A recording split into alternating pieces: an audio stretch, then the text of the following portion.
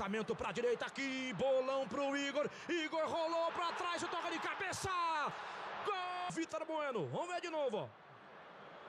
Rapaz, bola para a direita, chegada do Igor.